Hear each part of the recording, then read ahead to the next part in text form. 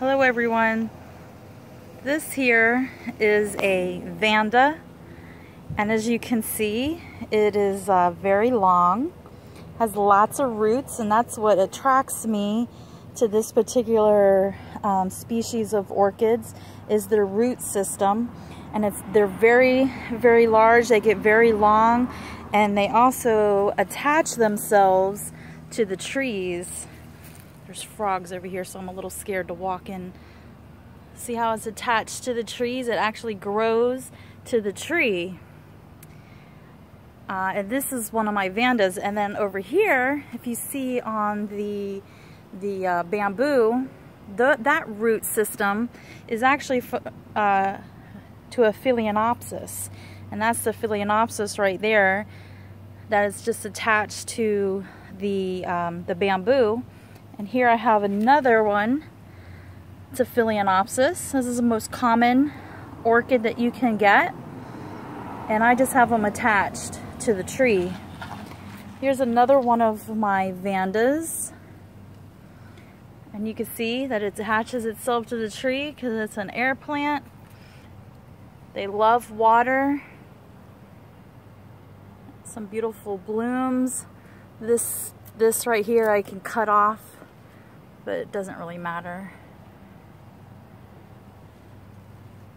So these love a lot of water and I hardly ever fertilize my orchids. Um, I hear mixed reviews about them so it's not something that I necessarily do. So I'm going to go out to my backyard. Okay, we're out here in my backyard. And here's a couple of my orchids that are in bloom out here. This one right here is a hybrid Vanda. And as you can see, it has one, two, three little pups in it. And it has some beautiful flowers coming out, but see the long root system that's literally attached to my shed. Here we have a Phalaenopsis. This is a common one with beautiful flowers coming off of it right now. But as you can see, you see the root system? See how gray it is? This really needs water really bad, but I was trying to hold off on watering these because we've been getting so much water, um, so much rain around here. This plant right here is called a why not, and it's the most complete, uh, complete orchid system. I don't know why, it's just what it says when I look it up.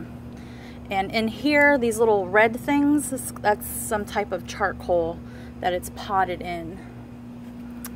Up here, we have a Cattleya, some type of Cattleya. I'm not 100% which one it is. I actually got this orchid as a little teeny tiny starter from Home Depot in one of the bags. But it has a beautiful plant, a beautiful flower. So that's the Cattleya.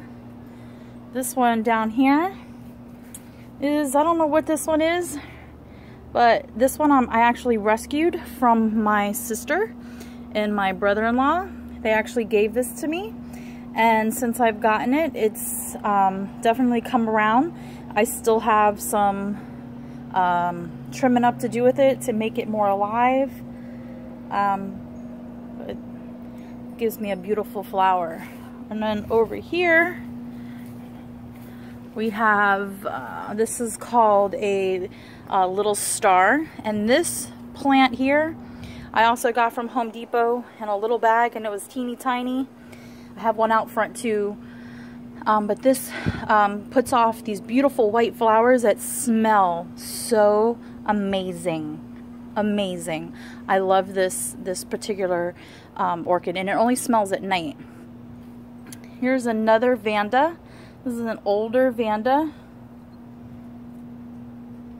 And, and it's just, you see the roots back there? It just grows all over. And then this is called My Dancing Lady. This one only blooms once a year, but when it does, it lasts for a couple months. This is my dancing lady. And this one, whoo, there's a lizard. Ah, you would think that um, I would be used to these little critters with, with how much I love uh, the outdoors. and love my plants, but I'm not. But that's called a dancing lady. So my outdoor orchids, I generally water them once a day, sometimes twice a day. In the heat of the summer, I water them first thing in the morning. Um, and I generally just water them until their, their uh, roots turn green. That's what my brother told me to do.